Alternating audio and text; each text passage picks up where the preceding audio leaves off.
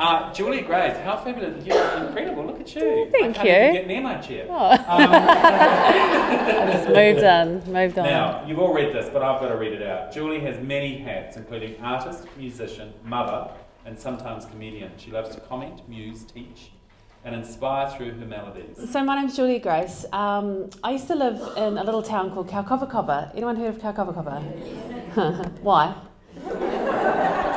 There's nothing there except me, and I'm here. So there's nothing there at all. Um, and it, she was near another little town called Helensville. Anyone heard of Helensville? Yeah. Shoes and teeth are optional. It's not a joke.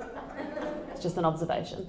Um, life in Helensville. No, I've just moved um, back into into West Auckland, actually, into Te Atatu Peninsula. So my life's been a little bit hectic in the last little while, but I love speaking to women. I spend a lot of time speaking to, and um, uh, I had to write down what I am. I don't know. I don't know how to sum myself up. I um, I get paid to be myself and just talk smack. So um, that's that's my job. But I love I love being a woman. I love men. I gave birth to one, and um, I married another one, which didn't actually work out that well. But I love the one that I gave birth to, and um, you know they're great. I, I do love men, but I love women because I feel like we have this collective consciousness. There's something about women that we just when we all get together, it's kind of like we're all a bit the same. We've got, you know, we've lived through these shared experiences, and one of the great shared experiences I think that we have is dealing with um, our parent relationships, so our relationships with our parents. So we all have, I'm assuming you've all got some form of parents. Um, and I, um, my father is an engineer, and I'm an artist, and he's English. Some of you can see where this is going. Um, now he's, he's a wonderful man. If I turn up at his house looking less than perfectly groomed, he says, "Oh, given up the fight, have we?"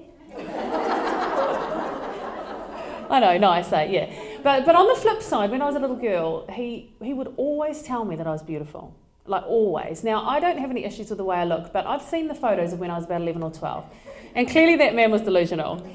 I can tell you now. He would just tell me I was beautiful when even when I wasn't, and and um, you know I'm I'm so appreciative of that. And he says to me now, he's always got something to say about the way I look, and you know, it's just their fathers, they just can't help themselves. He says, Oh, I liked it when you had blonde hair and pigtails. so I liked it when you had hair.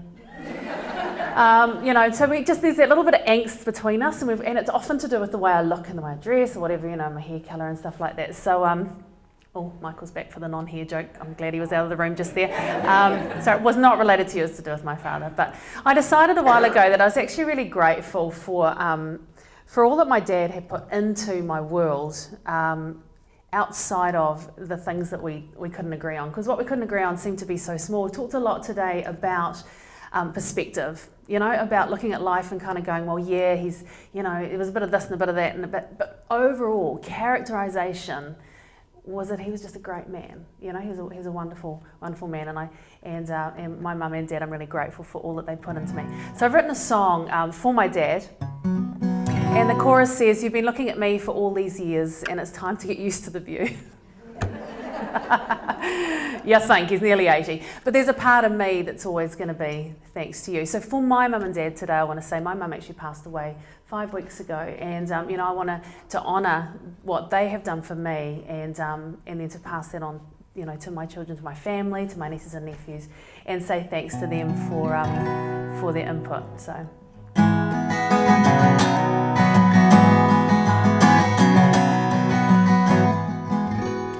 Vipers beat a pattern like a drum that says this rhythm's been forever. And I've driven through the rain of disapproval far too long. I appreciate the sentiment to know you only want to save me heartache. If there's one thing that I wish that I had said to you without it going wrong,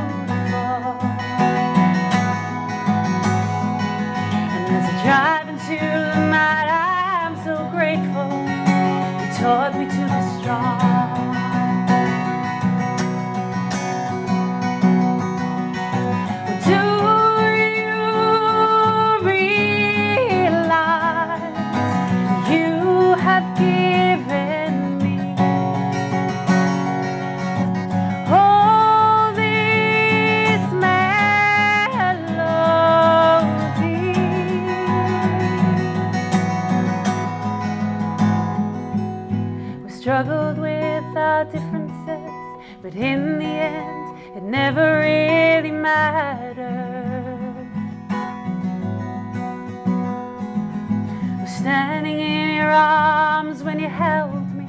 I didn't want to let you go.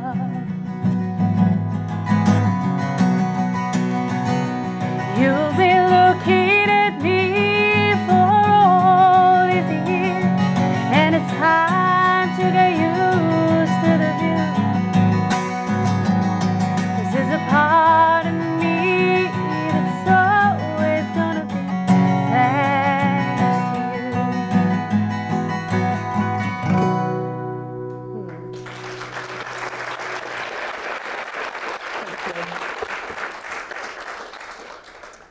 Thank you. Women are colourful creatures, and I think you know we bring out life brings out our true colours. Life brings out um, stress and pain and beauty and struggle. Um, brings out the, the parts of our story that are that are beautiful. So this is my favourite song. Um, I actually thought that I was Cyndi Lauper for a while in the 80s uh, because she was just really cool. So I thought rather than doing Girls Just Want to Have Fun, although that would have been appropriate, um, this is probably my my favourite all-time song, I guess.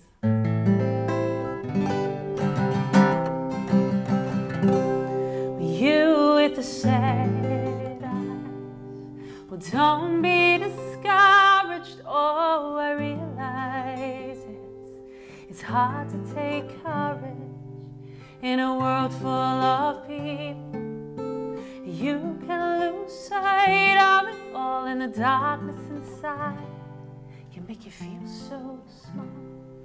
But I see your true colors shining through. I see your true colors, and that's why I love you. So don't be afraid to let them show your true colors. Your true colors are beautiful like a rainbow.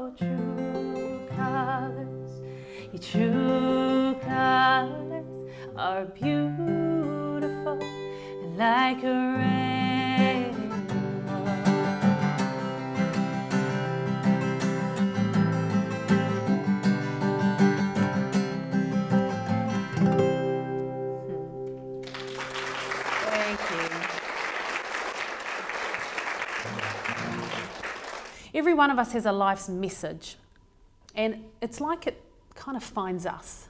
It's like what I heard today was a lot of people saying, oh, I didn't really have a plan.